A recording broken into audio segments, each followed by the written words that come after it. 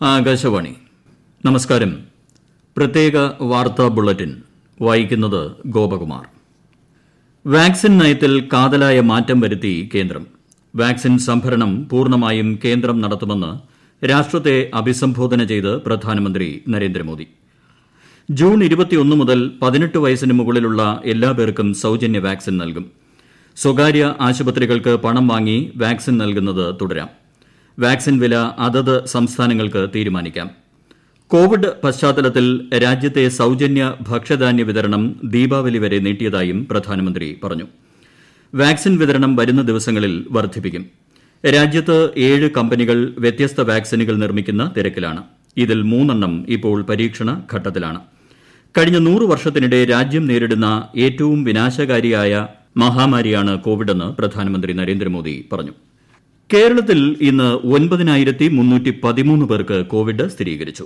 കൂടുതൽ വിവരങ്ങളുമായി Sophia Daniel. ഇന്ന് രോഗം സ്ഥിരീകരിച്ചവരിൽ തിരുവനന്തപുരം ആയിരത്തി നാനൂറ്റി എൺപത്തിയൊന്ന് പാലക്കാട് ആയിരത്തി ഇരുപത്തിയെട്ട് എറണാകുളം തൊള്ളായിരത്തി അറുപത്തിയെട്ട് തൃശൂർ തൊള്ളായിരത്തി ഇരുപത്തിയഞ്ച് മലപ്പുറം തൊള്ളായിരത്തിയെട്ട് കൊല്ലം എണ്ണൂറ്റി അറുപത്തിരണ്ട് ആലപ്പുഴ എണ്ണൂറ്റി മൂന്ന് കോഴിക്കോട് എണ്ണൂറ്റി അൻപത്തൊൻപത് കോട്ടയം നാനൂറ്റി അറുപത്തിനാല് കണ്ണൂർ നാനൂറ്റി മുപ്പത്തൊൻപത് ഇടുക്കി ഇരുന്നൂറ്റി മുപ്പത്തിനാല് കാസർഗോഡ് ഇരുന്നൂറ്റി പതിനഞ്ച് പത്തനംതിട്ട നൂറ്റി തൊണ്ണൂറ്റൊൻപത് വയനാട് നൂറ്റി ഇരുപത്തിയെട്ട് എന്നിങ്ങനെയാണ് ജില്ലാതല കണക്ക്. കഴിഞ്ഞ ഇരുപത്തിനാല് മണിക്കൂറിനിടെ എഴുപതിനായിരത്തി അഞ്ഞൂറ്റി അറുപത്തി ഒൻപത് സാമ്പിളുകളാണ് പരിശോധിച്ചത്. രോഗസ്ഥിരീകരണ നിരക്ക് പതിമൂന്ന് ദശാംശം രണ്ട് ശതമാനമാണ്. കഴിഞ്ഞ ദിവസങ്ങളിലുണ്ടായ ഇരുന്നൂറ്റി ഇരുപത്തിയൊന്ന് മരണങ്ങളാണ് കോവിഡ് മൂലമാണെന്ന് സ്ഥിരീകരിച്ചത്. ഇതോടെ ആകെ മരണം പതിനായിരത്തി ഒരുന്നൂറ്റി അൻപത്തിയേഴായി രോഗം സ്ഥിരീകരിച്ച് ചികിത്സയിലായിരുന്ന ഇരുപത്തിയൊരായിരത്തി തൊള്ളായിരത്തി ഇരുപത്തിയൊന്ന് പേർ രോഗമുക്തി നേടി. ഇന്ന് പുതിയ ഹോട്ട്സ്പോട്ടില്ല. രണ്ട് പ്രദേശങ്ങളെ ഹോട്ട്സ്പോട്ടിൽ നിന്നും ഒഴിവാക്കിയതോടെ സംസ്ഥാനത്ത് നിലവിൽ എണ്ണൂറ്റി എൺപത്തൊൻപത് ഹോട്ട്സ്പോട്ടുകളാണുള്ളത്. News desk Akashvani. കോവിഡ് നിയന്ത്രണങ്ങൾ ലംഘിച്ചതിന് സംസ്ഥാനത്തൊട്ടാകെ ഇന്ന് നാലായിരത്തി അഞ്ഞൂറ്റി എൺപത് പേർക്കെതിരെ കേസെടുത്തു. ഇന്ന് അറസ്റ്റിലായത് ആയിരത്തി അറുന്നൂറ്റി മുപ്പത് പേരാണ്. മൂവായിരത്തി അറുപത്തിയൊൻപത് വാഹനങ്ങളും പിടിച്ചെടുത്തു. മാസ്ക് ധരിക്കാത്ത സംഭവങ്ങളാണ് സംസ്ഥാനത്ത് ഇന്ന് റിപ്പോർട്ട് ചെയ്തത്. ക്വാറന്റൈൻ ലംഘിച്ചതിന് കേസുകളും റിപ്പോർട്ട് ചെയ്തു. സംസ്ഥാനത്തെ രണ്ട് ആശുപത്രികൾക്ക് കൂടി ദേശീയ ഗുണനിലവാര അംഗീകാരം ലഭിച്ചതായി മന്ത്രി Veena George. Thiruvananthapuram Mambazhakkara urban primary health centre Alappuzha Nehru trophy urban primary health centre എന്നീ കേന്ദ്രങ്ങൾക്കാണ് ഇപ്പോൾ ബഹുമതി ലഭിച്ചത്.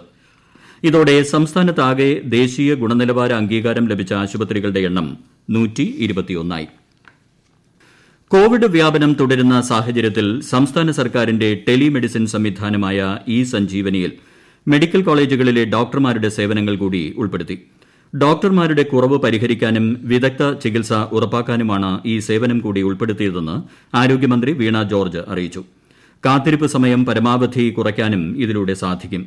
ബുധനാഴ്ച ആരംഭിക്കുന്ന ആയുർവേദ ഹോമിയോ ഒപികൾ തിങ്കൾ മുതൽ ശനി വരെ രാവിലെ ഒൻപത് മണി മുതൽ ഉച്ചയ്ക്ക് രണ്ട് മണി വരെയായിരിക്കും പ്രവർത്തിക്കുകയെന്നും ആരോഗ്യമന്ത്രി അറിയിച്ചു. വിഴിഞ്ഞം തുറമുഖ നിർമ്മാണത്തിന്റെ ഭാഗമായി ഖനനം ചെയ്യുന്ന മണൽ പൂന്തുറ മുതൽ വേളി വരെയുള്ള തീരദേശത്ത് നിക്ഷേപിക്കണമെന്ന് മന്ത്രി ആന്റണി രാജു.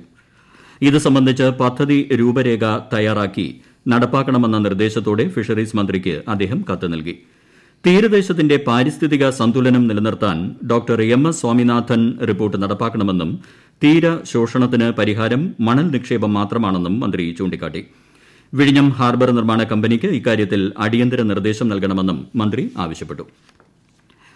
പൊതുമരാമത്ത് വകുപ്പ് റോഡുകളെക്കുറിച്ചുള്ള പരാതികൾ ഓൺലൈനായി അറിയിക്കാൻ കഴിയുന്ന mobile app P W D for U പുറത്തിറക്കി.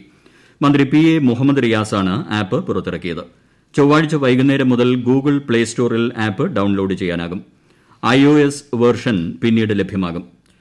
പൊതുമരാമത്ത് റോഡുകളെക്കുറിച്ചുള്ള പ്രശ്നങ്ങളും പരാതികളും ഫോട്ടോ സഹിതം ആപ്പിൽ അപ്ലോഡ് ചെയ്യാനാകും. പരാതിയുടെ തുടർ നടപടികൾ സമയാസമയങ്ങളിൽ അറിയുന്നതിനും ആപ്പ് വഴി സാധിക്കും. സംസ്ഥാനത്ത് ലോക്ഡൌൺ ഈ മാസം പതിനാറ് വരെ നീട്ടി. നിലവിലുള്ള നിയന്ത്രണങ്ങൾ തുടരും. ഇന്ന് ചേർന്ന കോവിഡ് അവലോകന യോഗത്തിലാണ് തീരുമാനം. കൂടുതൽ ഇളവുകൾ അനുവദിക്കാനും തീരുമാനമായിട്ടുണ്ട്. വിശദാംശങ്ങളിലേക്ക്. കോവിഡ് വ്യാപനം പ്രതീക്ഷിച്ച തോതിൽ കുറയാത്ത സാഹചര്യത്തിലാണ് തീരുമാനം. പന്ത്രണ്ട് പതിമൂന്ന് തീയതികളിൽ കർശന നിയന്ത്രണങ്ങളോടെയുള്ള സമ്പൂർണ ലോക്ഡൌൺ ആയിരിക്കുമെന്ന് കോവിഡ് അവലോകന യോഗത്തിൽ മുഖ്യമന്ത്രി പിണറായി വിജയൻ പറഞ്ഞു. അവശ്യ വസ്തുക്കൾ വിൽക്കുന്ന സ്ഥാപനങ്ങൾ വ്യവസായത്തിനാവശ്യമായ അസംസ്കൃത വസ്തുക്കൾ നിർമ്മാണ സാമഗ്രികൾ എന്നിവ വിൽക്കുന്ന സ്ഥാപനങ്ങൾ തുടങ്ങിയവയ്ക്ക് ജൂൺ പതിനാറ് വരെ പ്രവർത്തനാനുമതി നൽകും. ബാങ്കുകൾ നിലവിലുള്ളതുപോലെ തിങ്കൾ ബുധൻ വെള്ളി ദിവസങ്ങളിൽ പ്രവർത്തിക്കും. സ്റ്റേഷനറി ജ്വല്ലറി പാദരക്ഷകളുടെ ഷോറൂം തുണിക്കടകൾ ഒപ്റ്റിക്കൽസ് തുടങ്ങിയ കടകൾക്ക് ജൂൺ പതിനൊന്നിന് ഒരു ദിവസം മാത്രം രാവിലെ ഏഴ് മണി മുതൽ വൈകിട്ട് ഏഴ് വരെ പ്രവർത്തനാനുമതി നൽകും. സർക്കാർ അർദ്ധ സർക്കാർ സ്ഥാപനങ്ങൾ പൊതുമേഖലാ സ്ഥാപനങ്ങൾ കോർപ്പറേഷനുകൾ കമ്മീഷനുകൾ തുടങ്ങിയവ ജൂൺ പതിനേഴ് മുതൽ അൻപത് ശതമാനം ഉദ്യോഗസ്ഥരെ ഉൾപ്പെടുത്തി പ്രവർത്തനം ആരംഭിക്കും. സ്വകാര്യ ആശുപത്രികൾക്ക് വാക്സിനേഷൻ പ്രവർത്തനങ്ങൾക്ക് ആവശ്യമായ സഹായം നൽകും. അതത് ജില്ലകളിലെ സ്വകാര്യ ആശുപത്രികളെ വാക്സിനേഷൻ പ്രവർത്തനങ്ങളിൽ ഉപയോഗപ്പെടുത്താൻ മുഖ്യമന്ത്രി നിർദ്ദേശിച്ചു. വാഹന ഷോറൂമുകൾ മെയിന്റനൻസ് വർക്കുകൾക്ക് മാത്രം ജൂൺ പതിനൊന്നിന് തുറക്കാവുന്നതാണ്. മറ്റു പ്രവർത്തനങ്ങളും വിൽപ്പനയും അനുവദിക്കില്ല. ഹൈക്കോടതി നിർദ്ദേശപ്രകാരം അഭിഭാഷകരെയും മറ്റു ഉദ്യോഗസ്ഥരെയും വാക്സിനേഷൻ മുൻഗണനാ വിഭാഗത്തിൽപ്പെടുത്തും. സ്വകാര്യ ബസ് തൊഴിലാളികൾക്കും മുൻഗണന നൽകും. നീറ്റ് പരീക്ഷയ്ക്ക് ആവശ്യമായ ചില സർട്ടിഫിക്കറ്റുകൾ ഈ ഡിസ്ട്രിക്ട് പോർട്ടൽ വഴി ഓൺലൈനായി ലഭ്യമാക്കും. അടുത്ത അധ്യയന വർഷം മുതൽ പരീക്ഷകൾക്ക് ശേഷം സർട്ടിഫിക്കറ്റുകൾ ലഭ്യമാക്കിയാൽ മതി. എല്ലാ പരീക്ഷകളും ജൂൺ പതിനാറിന് ശേഷം മാത്രമേ ആരംഭിക്കൂ. എന്ന് മുഖ്യമന്ത്രി പറഞ്ഞു. News desk Akashvani. ഉന്നത വിദ്യാഭ്യാസ വകുപ്പിന് കീഴിലുള്ള സർവകലാശാലകളിൽ ജൂൺ പതിനഞ്ച് മുതൽ തുടങ്ങാനിരുന്ന പരീക്ഷകൾ നീട്ടിവയ്ക്കാൻ വകുപ്പ് മന്ത്രി സർവകലാശാലകൾക്ക് നിർദ്ദേശം നൽകി. കോവിഡ് നിയന്ത്രണവുമായി ബന്ധപ്പെട്ട് ലോക്ഡൌൺ ജൂൺ പതിനാറ് വരെ നീട്ടിയ സാഹചര്യത്തിലാണിത്. ലക്ഷദ്വീപിൽ കോവിഡ് വ്യാപനം കൂടുതലുള്ള ദ്വീപുകളായ കവരത്തി അന്ത്രോത്ത് കൽപ്പേനി അമിനി മിനിക്കോയി ബിത്ര എന്നീ ദ്വീപുകളിൽ സമ്പൂർണ ലോക്ഡൌൺ ഒരാഴ്ചത്തേക്ക് കൂടി തുടരുമെന്ന് കളക്ടർ അസ്കർ അലി ഉത്തരവിറക്കി. മറ്റ് നാല് ദ്വീപുകളിലും വൈകുന്നേരം അഞ്ച് മണി മുതൽ രാവിലെ ആറ് മണിവരെ നിലവിലുള്ള രാത്രികാല കർഫ്യൂവും ഭാഗികമായ കോവിഡ് നിയന്ത്രണങ്ങളും തുടരും. ലക്ഷദ്വീപ് ആരോഗ്യ വകുപ്പിലെ ദ്വീപുതല മെഡിക്കൽ ഓഫീസർമാരുടെ നേതൃത്വത്തിൽ എല്ലാ ദ്വീപുകളിലും പഞ്ചായത്തുകൾ കേന്ദ്രീകരിച്ചുകൊണ്ടുള്ള കോവിഡ് പരിശോധനകൾ തുടരുകയാണ്. ലോക ഭക്ഷ്യ സുരക്ഷാ ദിനാഘോഷത്തിന്റെ ഭാഗമായി കൊല്ലം ജില്ലയിൽ ഭക്ഷ്യസുരക്ഷാ വകുപ്പ് വിദ്യാർത്ഥികൾക്കായി വെബിനാർ സംഘടിപ്പിച്ചു. സ്റ്റുഡന്റ്സ് പോലീസ് കേഡറ്റ് വിഭാഗവുമായി ചേർന്ന് സംഘടിപ്പിച്ച വെബിനാറിൽ ഭക്ഷ്യസുരക്ഷാ ഉദ്യോഗസ്ഥർ ബോധവൽക്കരണ ക്ലാസ് രാജ്യത്ത് പ്രതിദിന കോവിഡ് ബാധിതരുടെ എണ്ണം തുടർച്ചയായി കുറയുന്നതായി കേന്ദ്രമന്ത്രി ഹർഷവർദ്ധൻ. കഴിഞ്ഞ മണിക്കൂറിൽ ഒരു ലക്ഷം പുതിയ കോവിഡ് കേസുകളാണ് റിപ്പോർട്ട് ചെയ്തത്. ദിവസത്തെ ഏറ്റവും താഴ്ന്ന നിലയാണിത്. ഇതുവരെ സംസ്ഥാനങ്ങൾക്കും കേന്ദ്രഭരണ പ്രദേശങ്ങൾക്കുമായി കോടിയിലധികം വാക്സിൻ സൌജന്യമായി നൽകിയിട്ടുണ്ടെന്നും കേന്ദ്ര ആരോഗ്യ മന്ത്രാലയം അറിയിച്ചു. സൈബർ ലോകത്ത് കുട്ടികളുടെ നഗ്ന ചിത്രങ്ങളും ദൃശ്യങ്ങളും തിരയുന്നവരെയും കൈമാറ്റം ചെയ്യുന്നവരെയും കണ്ടെത്താനായി പോലീസ് നടത്തിയ സംസ്ഥാന വ്യാപക പരിശോധനയിൽ പേർ അറസ്റ്റിലായി. ഓപ്പറേഷൻ പി ഹണ്ട് എന്ന നാമകരണം ചെയ്ത റെയ്ഡിൽ കേസുകൾ രജിസ്റ്റർ ചെയ്തു. ജില്ലാ പോലീസ് മേധാവിമാരുടെ നേതൃത്വത്തിലുള്ള അംഗ സംഘം ഇന്നലെ വെളുപ്പിനാണ് raid ആരംഭിച്ചതെന്ന് cyber dome nodal officer A D G P Manoj Abraham അറിയിച്ചു. സി ബി എസ് ഇ പന്ത്രണ്ടാം ക്ലാസ് വിദ്യാർത്ഥികളുടെ പ്രാക്ടിക്കലിന്റെയും ഇന്റേണൽ അസസ്മെന്റിന്റെയും മാർക്കുകൾ അപ്ലോഡ് ചെയ്യാനുള്ള അവസാന തീയതി ഈ മാസം വരെ നീട്ടി. കോവിഡിന്റെ പശ്ചാത്തലത്തിൽ ചില സ്കൂളുകളിൽ മൂല്യനിർണയം പൂർത്തിയാകാത്ത സാഹചര്യമുണ്ടെന്ന് പരീക്ഷാ കൺട്രോളർ പറഞ്ഞു. പ്രാക്ടിക്കൽ ഉൾപ്പെടെയുള്ള മൂല്യനിർണയം ഓൺലൈൻ സമ്പ്രദായത്തിലായിരിക്കും നടത്തുക. ഇതിനായി ഇനി കൂടുതൽ സമയം അനുവദിക്കില്ലെന്നും കൺട്രോളർ അറിയിച്ചു. മഴവെള്ള ശേഖരണം എന്ന ദേശീയ പ്രചരണത്തിന്റെ ഭാഗമായി നാളെ കേന്ദ്ര ഭവന നഗരകാര്യ മന്ത്രാലയം നടത്തുന്ന വെബിനാറിൽ പ്രസന്റേഷനായി കേരളത്തെ തെരഞ്ഞെടുത്തു. ഗുജറാത്ത് ഉത്തർപ്രദേശ് തമിഴ്നാട് എന്നീ സംസ്ഥാനങ്ങൾക്കൊപ്പമാണ് കേരളത്തെയും തെരഞ്ഞെടുത്തത്.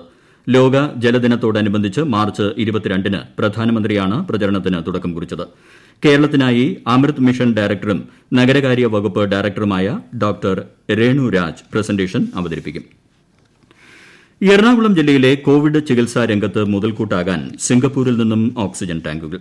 ഇരുപത് ടൺ ഓക്സിജൻ സംഭരണശേഷിയുള്ള മൂന്ന് ടാങ്കുകൾ പ്രത്യേക വിമാനത്തിൽ നെടുമ്പാശ്ശേരി വിമാനത്താവളത്തിലെത്തും. രണ്ട് ടാങ്കുകൾ എറണാകുളം ജില്ലയിൽ ഉപയോഗിക്കും. കോവിഡ് പ്രതിരോധത്തിന്റെ ഭാഗമായി താലൂക്ക്തല സ്കാഡ് പരിശോധനകളിൽ ഇന്ന് കൊല്ലത്ത് അൻപത്തിയെട്ട് സ്ഥാപനങ്ങൾക്ക് പിഴ ചുമത്തി. കൊട്ടാരക്കരയിലെ എഴുകോൺ പവിത്രേശ്വരം ഭാഗങ്ങളിൽ നടത്തിയ പരിശോധനയിൽ മാനദണ്ഡ ലംഘനം കണ്ടെത്തിയ സ്ഥാപനങ്ങളിൽ നിന്ന് പിഴ ഈടാക്കി. പ്രത്യേക വാർത്താ ബുള്ളറ്റിൻ കഴിഞ്ഞു. ആകാശവാണി വാർത്തകളും വാർത്താ അധിഷ്ഠിത പരിപാടികളും all India radio news Thiruvananthapuram എന്ന യൂട്യൂബ് ചാനലിൽ ലഭ്യമാണ്. കൂടുതൽ വാർത്തകൾക്കായി at all India radio news Thiruvananthapuram എന്ന ഫേസ്ബുക്ക് പേജും at A R news underscore T V M എന്ന ട്വിറ്റർ ഹാൻഡിലും സന്ദർശിക്കാം. അടുത്ത വാർത്താ പ്രക്ഷേപണം നാളെ രാവിലെ ആറ് നാൽപ്പത്തിയഞ്ചിന്.